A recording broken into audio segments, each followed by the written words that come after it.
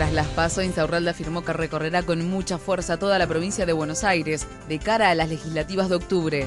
El director nacional electoral se mostró satisfecho con el funcionamiento de los comicios. El 28 de agosto cierra el plazo para constituir las juntas electorales nacionales para las elecciones del 27 de octubre.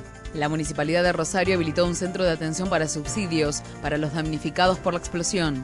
Detuvieron a 30 personas en seis provincias y quedó desarticulada una banda internacional de pedófilos que operaba en el país. Amenazas de Inglaterra a España por el refuerzo de los controles en la frontera con el Peñón de Gibraltar. El Instituto Nacional de la Yerba Mate anunció un crecimiento en el consumo, con más de 131 millones de kilos vendidos en el mercado interno durante el primer semestre. Juan Mónaco debutó en el Master 1000 de Cincinnati con una victoria frente al austríaco Jürgen Melzer. Messi entrenó de forma diferenciada y está en duda para el amistoso del miércoles frente a Italia. Brindisi dirigió el entrenamiento, dijo que ya tiene a los jugadores, pero ahora hay que encontrar al equipo.